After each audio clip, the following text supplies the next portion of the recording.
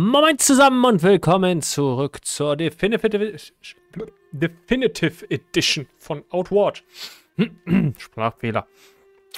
So, wir haben uns letzte Folge einen richtig fetten, fetten Rucksack besorgt und haben auch, warte mal kurz, so, besser. Und haben auch äh, mal etwas weiter als die nähere Umgebung von der Halbinsel uns angeschaut. Ähm, ja. Habe ich jetzt schon geschlafen? Ich habe noch gar nicht geschlafen. Und ich habe auch noch gar nicht meine Sachen repariert. Ja, dann gucken wir das doch mal als erstes nach. So, reparieren. Und schlafen. Da ich aber nicht weiß, wie viel wir schlafen müssen und wie viel reparieren müssen, Step by Step. Gut, was steht heute an? Das weiß ich nicht. Ich dachte mir, ich lasse mich einfach mal so ein bisschen reinfallen und guck mal, was ich machen will. Und ja, ohne großen Plan. Aber es geht auf jeden Fall in die Welt nach draußen. So, wir müssen noch ein bisschen reparieren. Und noch mal eine Runde schlafen. Ich würde sagen, wir haben ja Essen schon vorbereitet gehabt. Wir haben zwar jetzt auch ganz viel, was wir ähm, theoretisch verkaufen können und und und, aber nee, kein Bock. Gar kein Bock. Wir gehen jetzt und schauen uns draußen noch ein bisschen um. So, die Handschuhe funktionieren ganz gut. Die benutzen wir weiter. Pfeile brauche ich jetzt nicht. Denn Bögen habe ich... Ah, ich weiß wieder, was ich wollte. Mensch. Ich wollte Richtung Berg zurück. Äh, Konfluxgebirge. So, da brauchen wir nur noch ein paar Sachen für. Nämlich... Die können wir gebrauchen. Davon können wir fünf gebrauchen. Äh, davon können wir auch zwei gebrauchen. Na, dann eben drei. Haben wir noch einen, Ma einen Heiltrank? Ja, Heiltrank haben wir auch. So, und jetzt wird's gerade knapp. Jetzt weiß ich gerade nicht mehr, was wir mitnehmen wollen. Ich würde sagen, wir nehmen noch Feuerlappen mit, ne? Vier Stück. So, und ein Gegengift. Zwei. Jetzt haben wir alles, oder? War noch was? Okay, trinken wollen wir unten. Essen haben wir. Ja, wir haben alles. Können wir los! Uh, ein wunderschöner Sonnenaufgang. Wie so häufig. Die, die Temperatur ist neutral, das ist auch schön. Nicht heiß, ist nicht kalt. Ist nicht neblig, ist nicht regnerisch.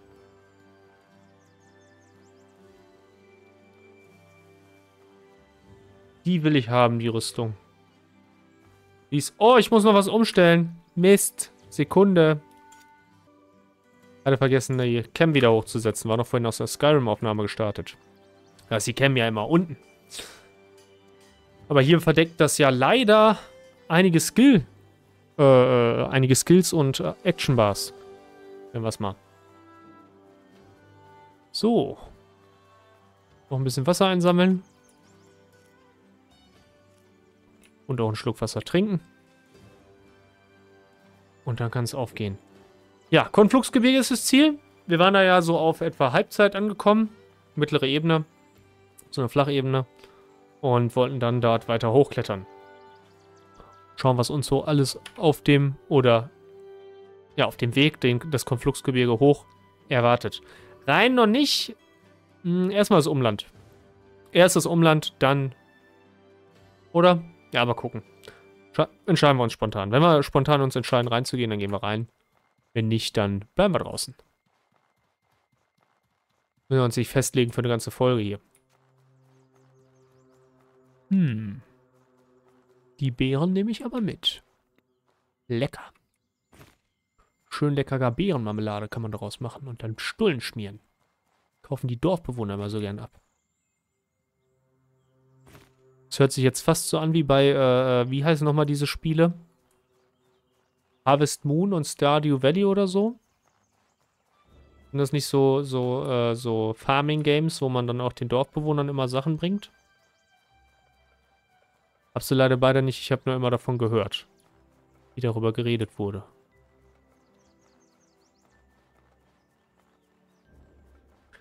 Ah.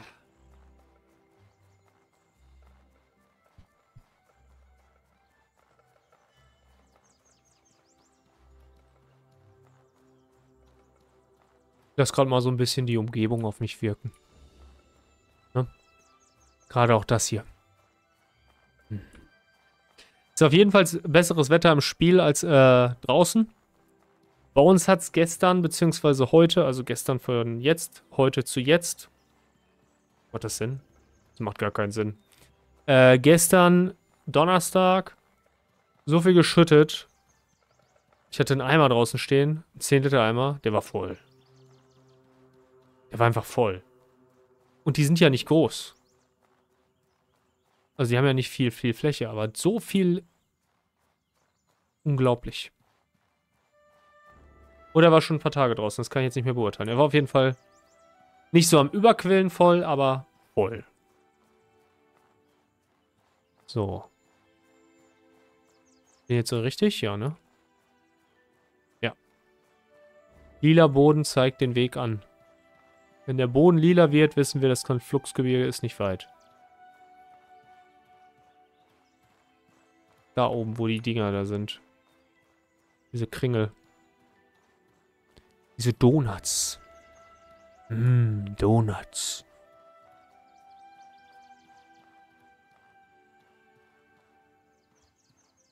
So. Augen offen halten, nicht, dass hier irgendwas Mächtiges auf uns wartet und uns dann auf einmal aus dem Leben, Leben prügelt. Da war ja einmal dieses, äh, ich, wie gesagt, ich meine, es ist der Wendigo und es ist ja noch der dunkle Vogel unterwegs. Die zwei könnten mir richtig Ärger bereiten. Denn da bin ich noch nicht drauf vorbereitet, gegen die zu kämpfen. Mental. Ob ich es äh, äh, in der Verfassung her schaffe, ich würde sagen, nein. glaube, ich bin da noch nicht stark genug für. Und äh, mental auch nicht. Von daher bevorzugt kann er mir vorerst gestohlen bleiben. Der Wendigo und der dunkle Vogel. So, sind wir schon beim Konfluxgebirge angekommen. Und können okay, das ist noch ein ziemlich weiter Weg, bis wir auf der Mittelstation sind, sage ich irgendwann mal. Wir hier noch das Türchen durchschreiten und dann ist es, glaube ich, nur noch ein Mittelausdauerbalken. Ist halt sehr weitläufig, ne? Bräuchten am besten noch irgendwas, was uns ein bisschen schneller macht. Und auch die Ausdauerkosten verringert, dann wird das, glaube ich, nicht so mies sein die Banditen aus der letzten Folge, die wir noch weggekloppt haben. Und die Hyäne. Und jetzt sind wir, glaube ich, da, wo wir noch alles eingesammelt haben, aber nicht weitergelaufen sind. Genau. So, dann können wir hier wieder hoch. So. Dann gehen wir erstmal den Berg weiter nach oben. Ich meine, auf der Spitze war auch was ganz Besonderes. Keine Gegner? Keine Gegner. Aber wieder so ein Knödel hier. Ein Bodenknödel, so ein Turmip.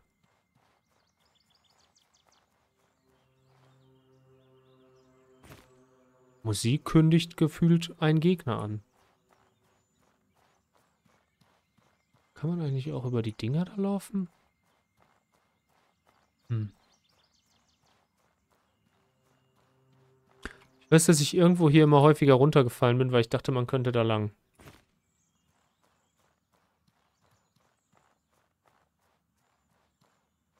Ja, mit dem Mana-Stein. Kieskäfer, schön. Wenn wir noch mehr Kieskäfer finden, können wir bald die ersten Heiltränke machen.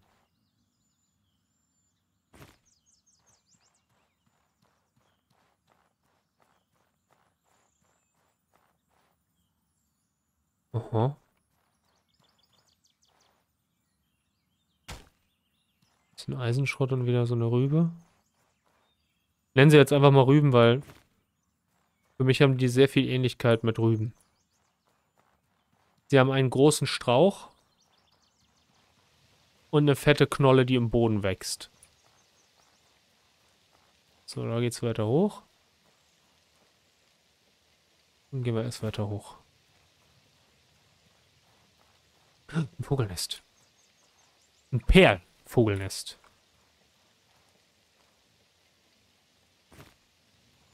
Wir sind verdächtig wenig Gegner. Und soweit ich das beurteilen kann, sind wir gleich oben angekommen. Denke ich mal, würden wir am besten mal ein bisschen langsamer gehen, dass der Ausdauerbalken auch voll ist. Nicht, dass da gleich direkt ein Gegner auf uns wartet. Akmanit. Yes.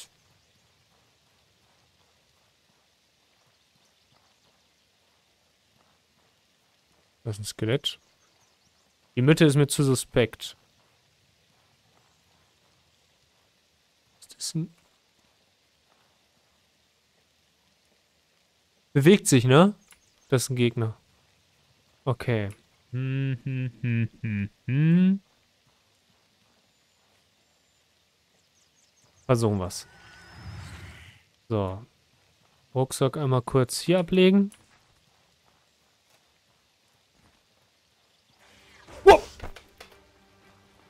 Fettes Viech, fettes Viech, fettes Viech.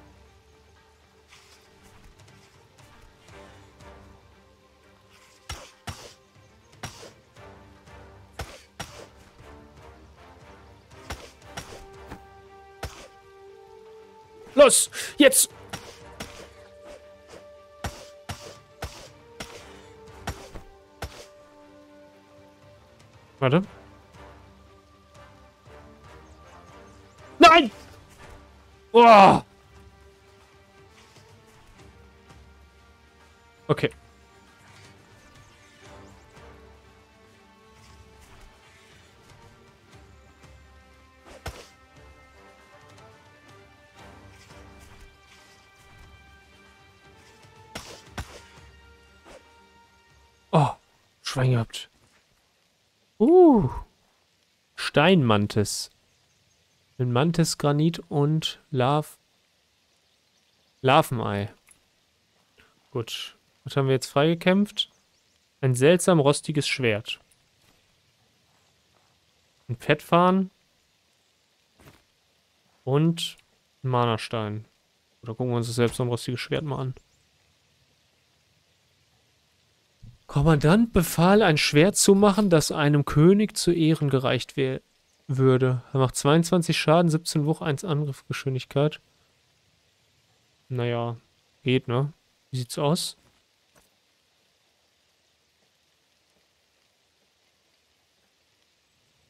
Naja. Vielleicht kann man den Rost ja abmachen. Gut. Ja. Dann haben wir schon mal das erste kleine Ziel hier erreicht. Ein, dicken Vieh, ein dickes Viech hier kaputt schlagen. Ein Rockmantis. Was Rockmantis? Ich glaube schon. Ja, dann schauen wir uns nochmal die Nebengänge an von dem äh, Konfluxgebirge hier. Und äh, wir haben noch so wenig gemacht erst. Dann würde ich sagen, gehen wir sonst auch mal rein.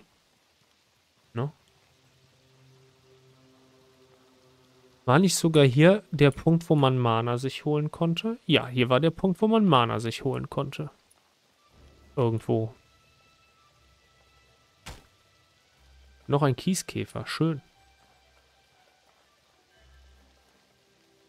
Hier geht's weit runter, aber ich glaube, man kommt hier dann nicht mehr sicher unten an. Also, drehen wir um. Ich meine, das war so. Ich bin mir nicht mehr sicher. Ja, dann. Seilengänge checken, ne? Und mal wieder viel gelaufen. Ach ja, ich hatte in Skyrim heute äh, Mittag schon erzählt, beziehungsweise für mich vor, vor 20 Minuten circa. Ich habe jetzt mir die äh, Modifikation für Diablo 1 geholt und mir die angeguckt.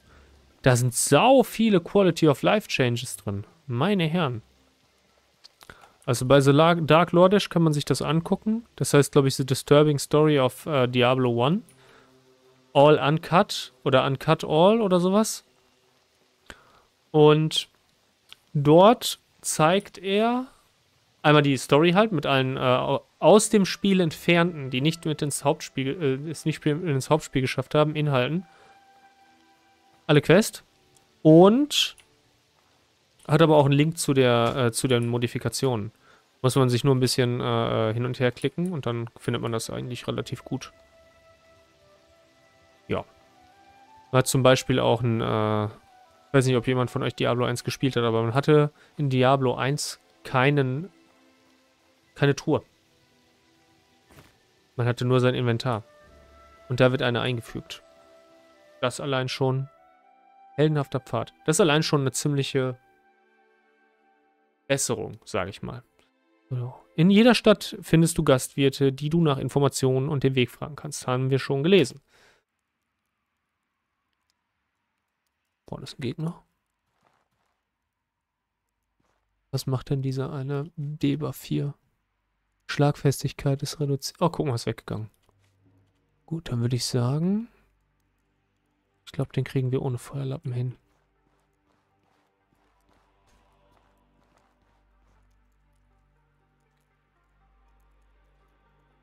Krabbelt hier? Ach, das da vorne, das am Blitzen. Können wir uns wohl hinter den anschleichen? Sieht gut aus.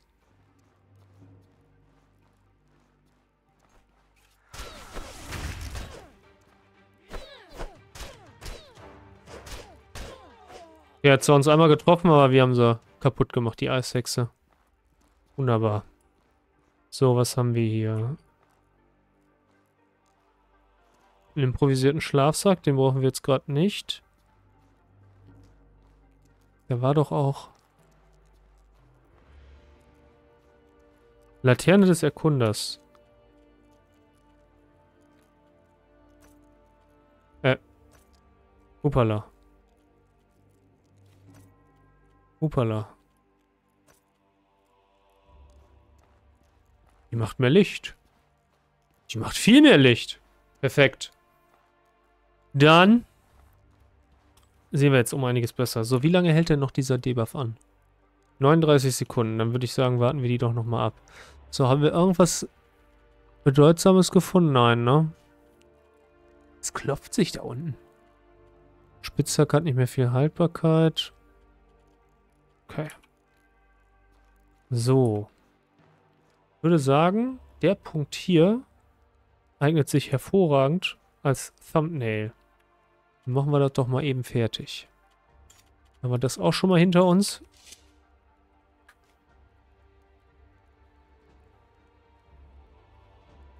Ja. Auf in die Tiefen! Bergmannsomelett noch futtern, wenn wir sowieso in dem Berg drin sind.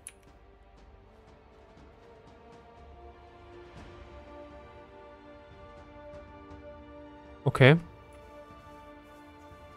Da vorne ist was Grünes.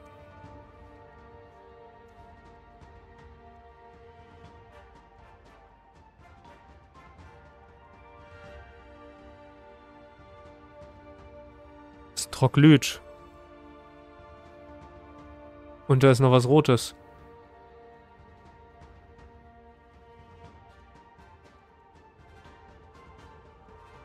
Wenn wir Glück haben, kommt der rote, rote nicht hier hin. Ah, aber der grüne geht auch wieder weg. Habe ich noch diese Splittergranate? Nein, Mist. Mmh.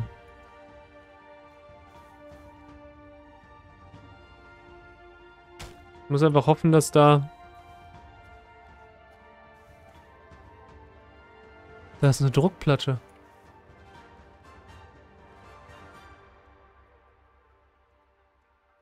Muss die einmal auseinanderziehen. Dann einen schnell wegmachen.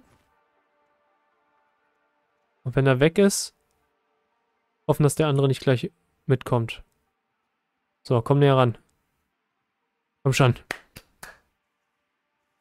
Komm schneller.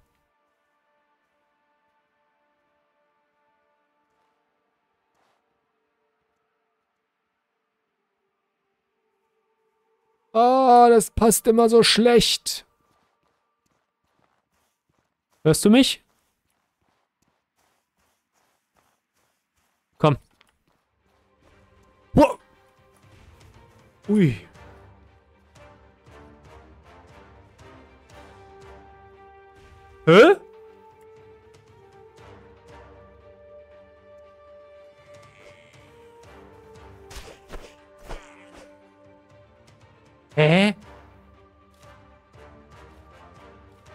Ich habe eine Pilzhellebade gefunden.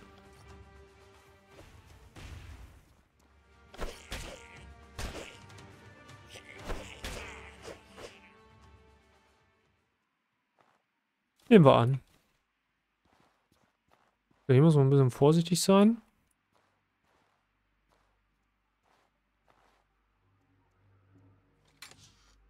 Eine gepolsterte Rüstung. Oh, das hört sich gut an. Kunde. Die hat 9 zu 8, 15 Eis, 13 Schlagfest. Viel bessere Schlagfestigkeit, aber kein Beutelbonus. Das ist erstmal egal, oder? Sagen, die nehmen wir. Beutelübergewicht. Ja, komm, dann packen wir das hier in den, in den Rucksack. So, jetzt halten wir ein bisschen mehr aus. Wunderbar. So, ich würde sagen, wir gehen erstmal hier lang. Eine Falle? Muss ein bisschen mehr aufpassen. Da ist eine Falle. Gut, ist das dunkel.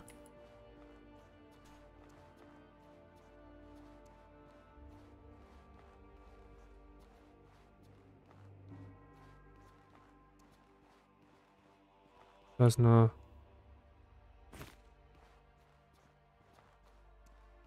Man kann hier durch so einen Schlitz gucken, na toll. Kommen wir hier durch? Kann von hier nicht geöffnet werden. Ach, da ist der. Ja, okay, ich bin von der falschen Seite. Alles klar, dann sind wir hier falsch.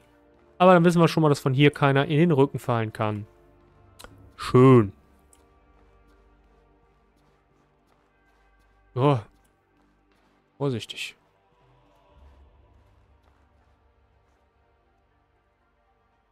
Ja, da will ich jetzt nicht runterspringen, dann komme ich ja nicht mehr, kann ich ja nicht mehr wirklich fliehen. Gehen wir auf die andere Seite. Moment. Oh, Silber. Ganz viele Schalter. Eine Falle. Hier geht's hoch. Hier geht's runter. Dann gehen wir erstmal nicht runter, denn hier kann uns nichts in den Rücken fallen, aber hier kann uns was entgegenkommen. Okay. Wo geht's dahin? Den kennen wir doch schon.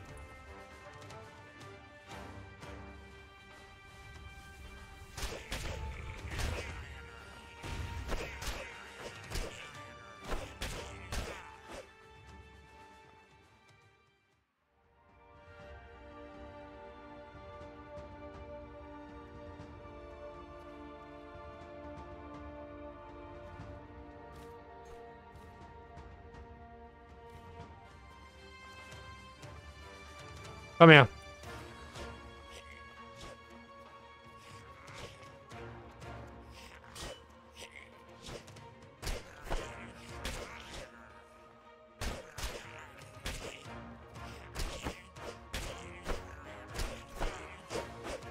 Was ist das?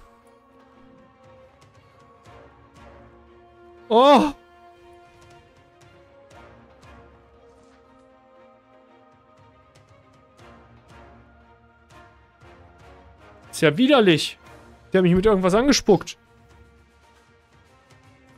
Okay. So ein komisches Fliegeding.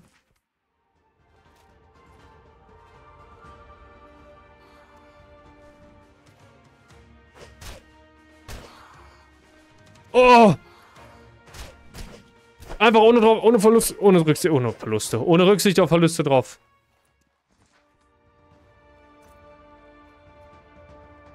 Arkanes Elementar. Sechs Mana-Steine. Junge. Holy moly.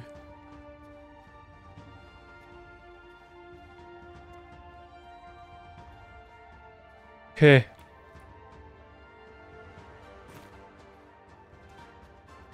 Bin angespannt.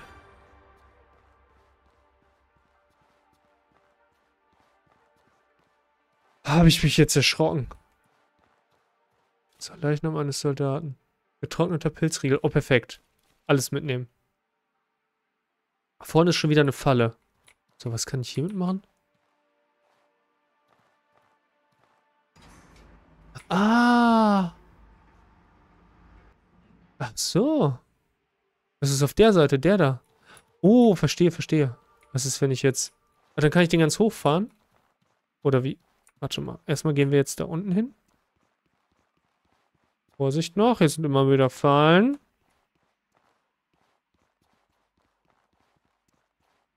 Da.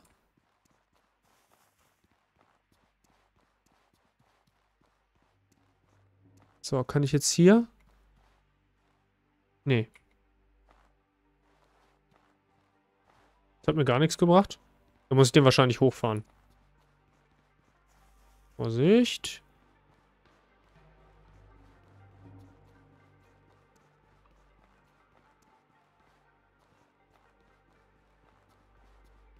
Oh.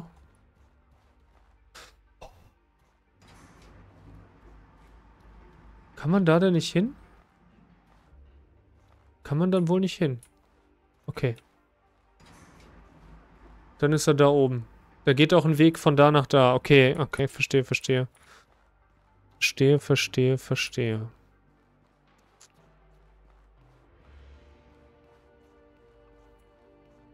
So, wo gehen wir denn dann jetzt lang? Ja, der wird dann wahrscheinlich den Weg nach oben zeigen. Dann gehen wir doch mal nach hier unten. Mal schauen, was wir hier haben.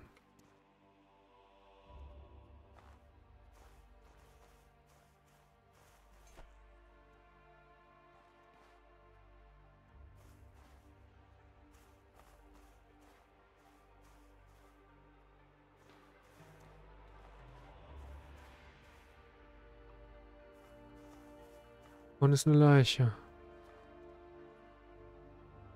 Habe ich einen Pilzriegel? Ich habe ein Rezept für einen Pilzriegel. Ah, warte mal, das hier kann ich nehmen. Dann habe ich wieder mal... Ah, Leben, Max Leben, wunderbar. Bitte verbrannte Ausdauer, her damit. Achso, Kälteschutz, okay. Irgendwas ist hier sich die ganze Zeit selber am Verprügeln.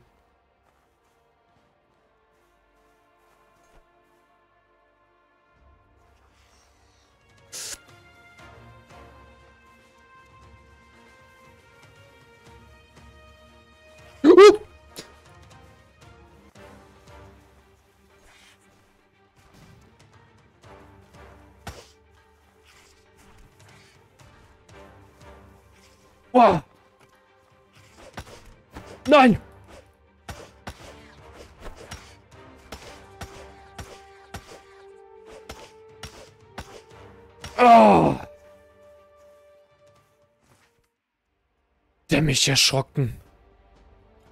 Ich habe den Heiltrank getrunken. Egal. So. Okay. Eben noch kurz mal geguckt, damit ich weiß, wie es aussieht. Da ist noch einer.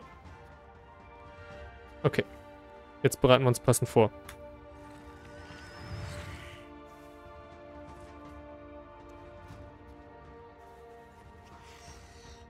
Komm her.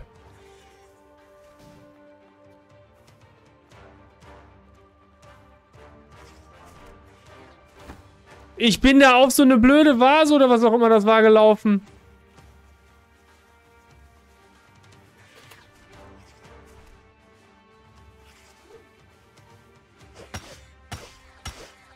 Jetzt gibt's aufs Maul.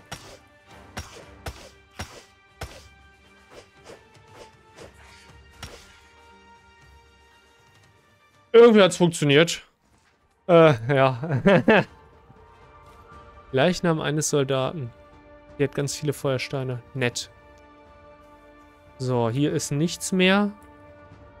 Mana Mantis. Ihr seid widerlich.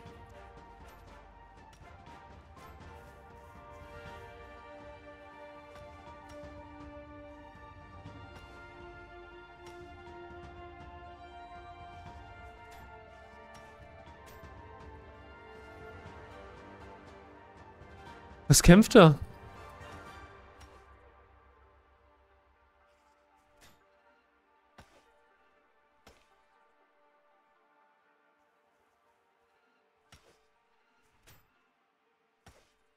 Sieht auf jeden Fall eklig aus.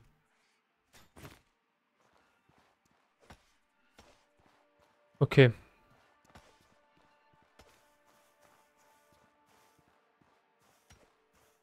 So, so langsam die, die Schreckgrenze überwunden. so langsam.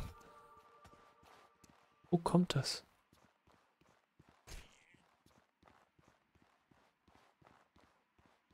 Warte mal. Ich kann ja hier draufklicken, ne?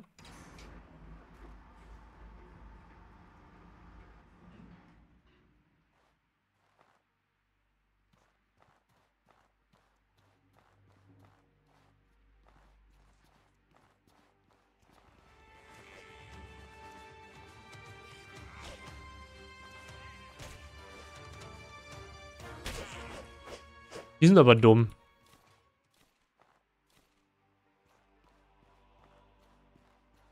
Die haben sich ja die ganze Zeit selber umgebracht.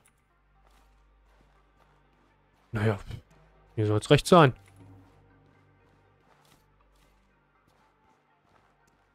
Junge. Abbauen.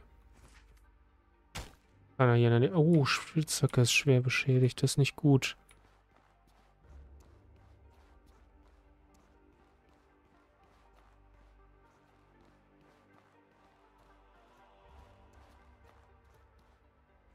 Warte mal. Nicht zerlegen. Ich will das hier machen. So. Und ich glaube... So. Genau. Denn falls jemand drauf geachtet hat, auf den Hebel auf dem Aufzug. Boah, ich habe ewig lange gebraucht, als ich das erste Mal hier war, um was rauszufinden. Der ist nämlich jetzt wieder unten und jetzt kann ich ihn nach oben betätigen. Jetzt sind wir hier oben. War jetzt zwar nicht da, wo, der, wo die beiden Viecher gekämpft haben. Aber jetzt sind wir hier. Oh, noch eine Falle. Und können weitergehen. In die Konfluxkammern. Oh. Habe ich mich da runter? Ich denke schon. Ich denke schon.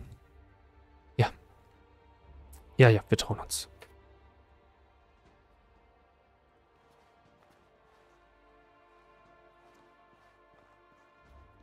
Okay.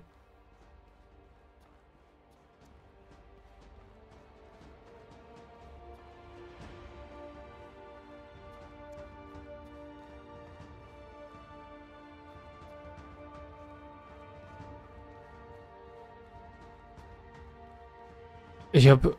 Ich stehe ultra unter Spannung gerade. Weil ich Schiss hab, dass hinter jeder Ecke jetzt irgendwas laut. Ich bin gerade so tief in dem Berg drin.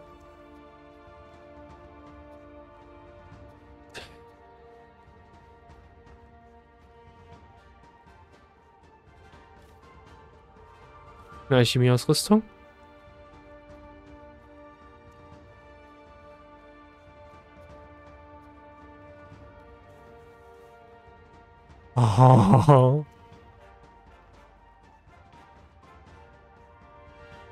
Warte mal. Wasser der heiligen Linie zu sammeln? Es hört sich die ganze Zeit so an, als hätte ich einen Kampf.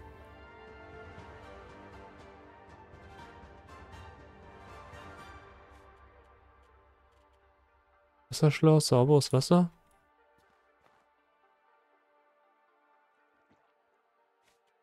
Ach, ich trinke das die ganze Zeit.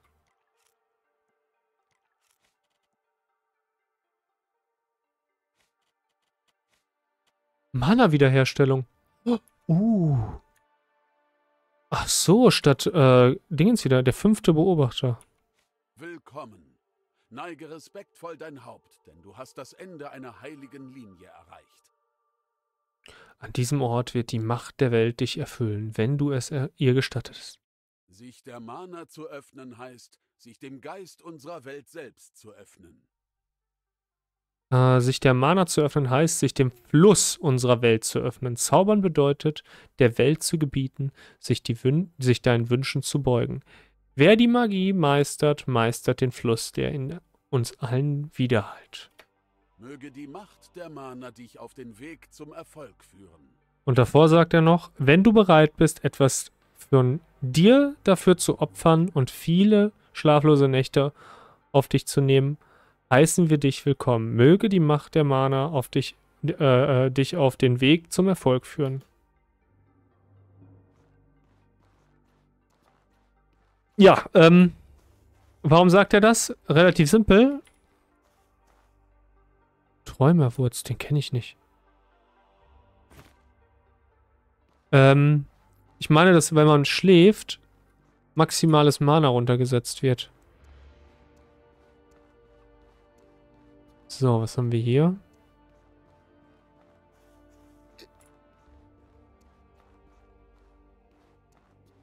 Der dritte Wächter.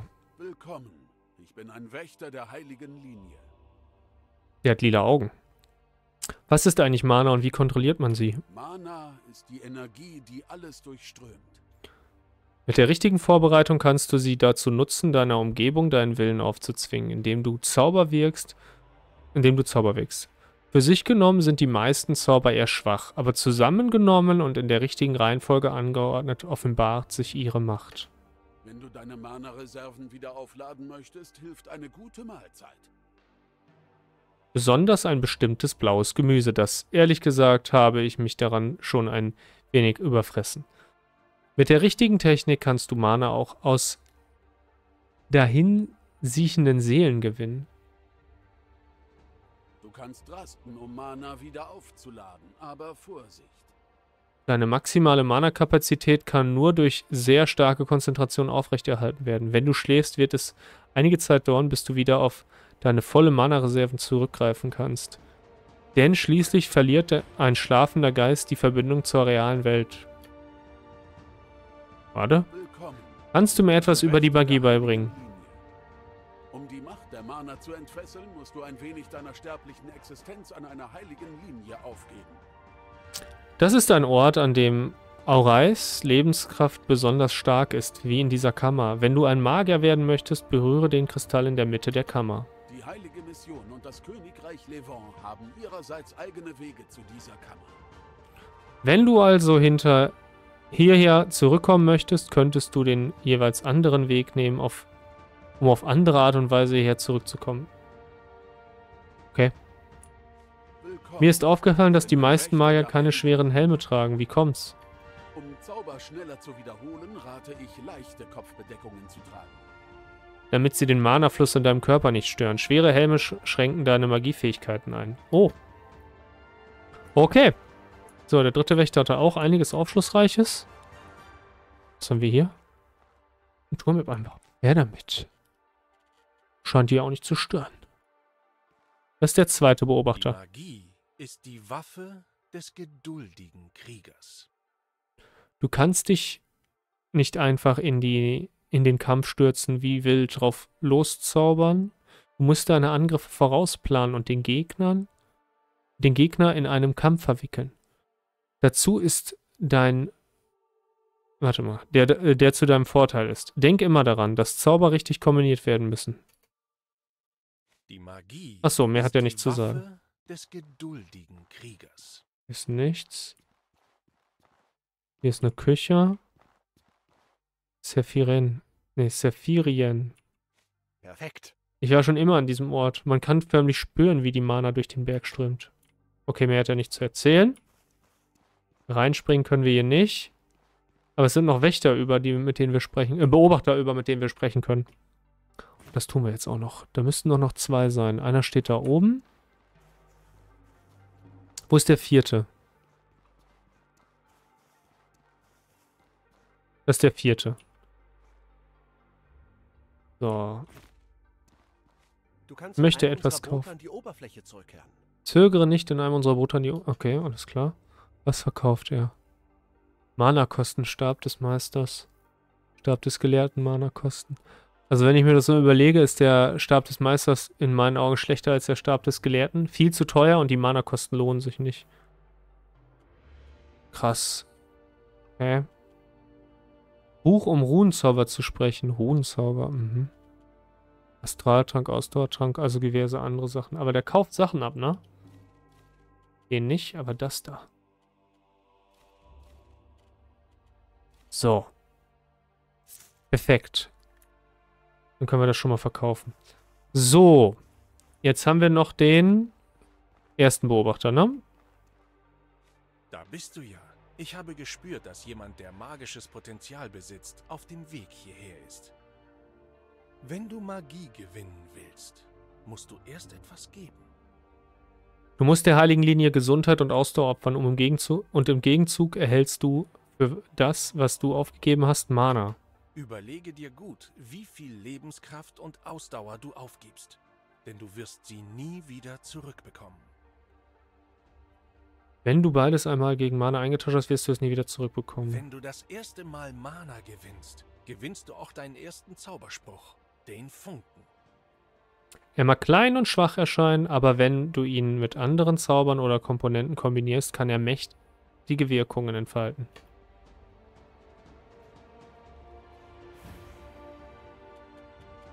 Okay, wenn wir ja so gesehen auf 100 Gesundheit wieder runtergehen, haben wir 100 Mana und 75 Ausdauer. Aber erstmal machen wir hier gar nichts. Denn die Entscheidung bleibt offen bis zur nächsten Folge. Ja, vielen Dank fürs Zuschauen. Wir sind jetzt bis zur Heiligen Linie vorgedrungen. Hatte ich gar nicht mit geplant, aber hat geklappt. Schönes Wochenende. Macht's gut.